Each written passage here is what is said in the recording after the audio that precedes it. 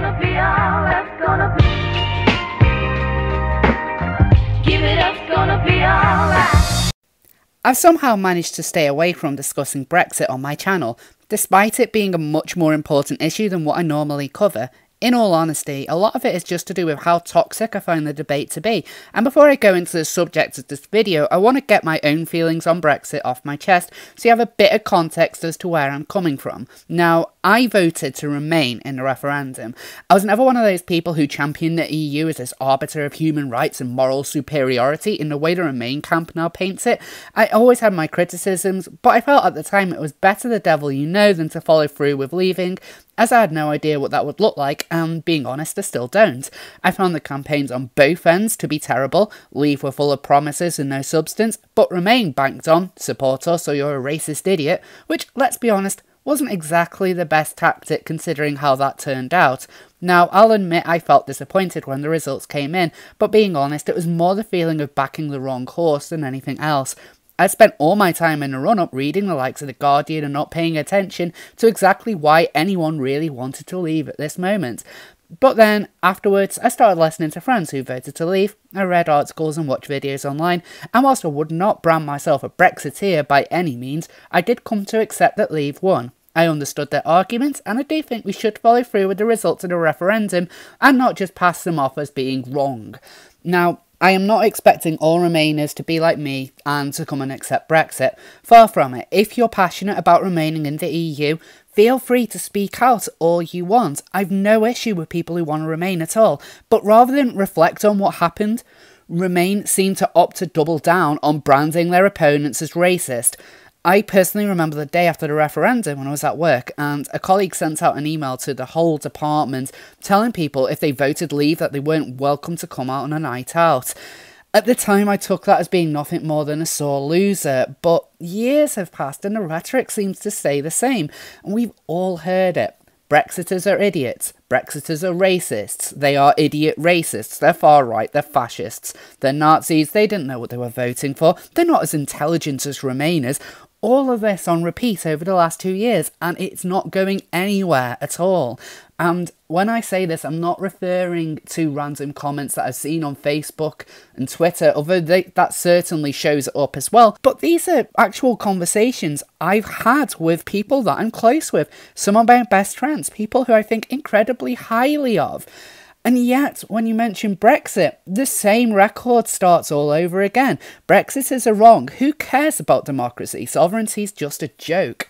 Our country's racist, and I'm really ashamed of being British. Now, I'm not saying the attitude from Brexiters can be any better. I, I really hate the idea of calling Remainers traitors as though we live in the 15th century and everyone must have the same damn opinion on Brexit.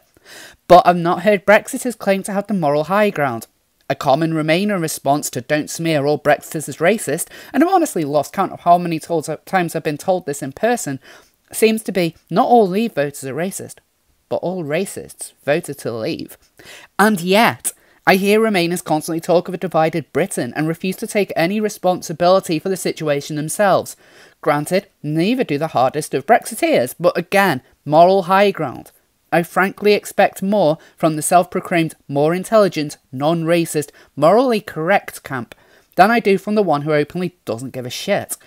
And Brexiters being considered racist has stuck. Just look at Anna Soubry, for example. It's fine for her to call Brexiteers fascists and overwhelmingly racists who support the Tommy Robinson man, but when she's labelled a Nazi, essentially the same thing. The police are called in it's contempt across the political spectrum. Well, it's fine for Brexiters to be smeared, apparently, and I've honestly talked to more Remainers who feel this is acceptable than those who don't.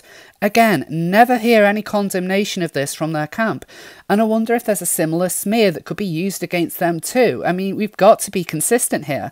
Maybe it's because I'm in a so called privileged position where I voted one way, then came to accept the other side's position, that I feel I can do this. But the past week really has brought out one shocking rhetoric out of the ground against Remainers, and that's to do with age. Now, one of the first complaints I heard from Remainers since the vote was that the old people stole the result from the young. who Remainers are convinced are universally on their side, and that old people's votes shouldn't count the same as the young just because the elderly are not potentially able to be around as long, so they're not going to see the full results of what happened. Now, like earlier, I always talk this as more spoil sport than any kind of real serious argument. After all, I doubt any Remainers would honestly insist their own Remainer granny shouldn't vote because she's too old. But the last week has seen this line of thought come to prominence again. This shouldn't come as a surprise considering only Leave are ever held to account for their rhetoric, and it's hard to imagine one Remainer calling out another, seriously. But some have felt emboldened enough to take to the national stage and spout it. Writing for The Guardian, hardened Remainer Toynbee proclaimed that Saturday the 19th of January 2019 would be the moment the UK turns from Leave to Remain. Now, the reason for this is a YouGov report which claims the Leave votes lead has been declining by 1,350 a day. This is because of the elderly dying. So on the 19th, enough old people will have died since the referendum, Toynbee says, that there will no longer be a majority for leaving the EU. So it will therefore be the will of the people to remain, and this should be cemented in a second referendum. Of course, Toynbee warns that Leave may win a second time, and also says that Remainers are right to fear how much further they may go in a second referendum, always wrong footing a painfully fact based gentler Remain campaign. I remember the core and main argument last time to be Brexiters for idiot racists. Polly, at least, that's what the Remainers constantly told me, even close friends. Now, Toynbee concludes Leave is afraid of a so called people's vote in case they lose, ignoring the very real implication that their vote didn't matter in the first place and what that would entail going forward. Now, strangely, the only comment on people changing opinion is that she believes it's predominantly pro Remain. I beg to differ. There are many Remain voters like myself that accept the result and will probably vote to leave in a potential second referendum to send the message to the elites of this country that they should not dictate our beliefs. And let's face it, coming out as Brexiters feels as toxic as saying Trump's not such a bad guy after all. Branding everyone as something negative does not change their views, it just pushes them underground. Toynbee's comments came alongside a website which was launched earlier in the week called deatherendum.co.uk which is set up to count down the number of elderly people dying until our moral arbiters can proclaim their will is now what the majority want. This site caused controversy, though the implications of the Remainers wanting the elderly to die was ignored by the likes of The Guardian, with the site's owner eventually shutting it all down, calling himself a victim of vicious attacks by Brexiters. So I guess it's fine to champion the deaths of Leave voters, but not criticise the man doing it. Cool. Thanks for maintaining the moral high ground there. The site itself now just links to a video on The Independent, but this isn't where the whole story ends. We have the 90s pop singer Jamelia calling for over 75s to have their votes removed on the Jeremy Vine show, and we also have several kind of worrying comments coming from hardline Remainers. Yet again, where's the condemnation from that side? I always see this being called when you get mad leavers commenting in the likes of The Express. So, why is there no consistency? I condemn this rhetoric on both sides, and I expect that from other people as well.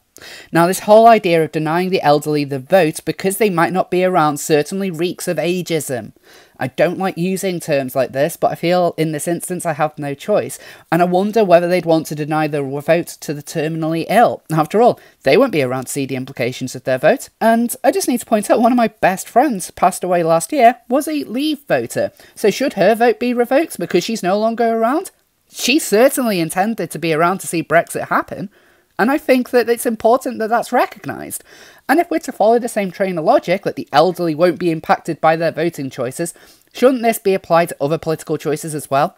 What about the issue of high tax? Should that only be voted on by those earning a certain threshold, let's say about 30, 40, 50,000 pounds a year? I mean, after all, lower earners aren't going to be paying that same level of tax. So why should they get a say in a matter that is ultimately not going to impact them in the same way? And why is there this assumption that all the elderly wanted to leave? There's definitely elderly voters who wanted to remain as well. And this goes for the young. A lot of people seem to assume they all wanted to remain. But as a Channel 4 show recently showed, it's not quite as popular as a lot of Remainers would like you to believe. So, as, I, as I've explained, we've seen that there's quite a few Remainers out there who have a generally negative view of the elderly. You could almost say that they are ageist. But that won't be fair at all, because after all, not all Remainers are ageist. So, let me co opt a popular Brexit expression. Not all Remainers are ageist, but all ageists voted to remain. That's not very nice of me, is it? It's not nice that I can smear a whole group like that, and you're completely right. I don't think all Remainers are ageist at all. I don't think it's fair for either side in this debate to be slandered because of the actions of an extremist minority. It's something I, as an individualist, like to be consistent about. Every one of us is accountable for our own actions, and being a certain person is no indicator for your own thoughts and beliefs.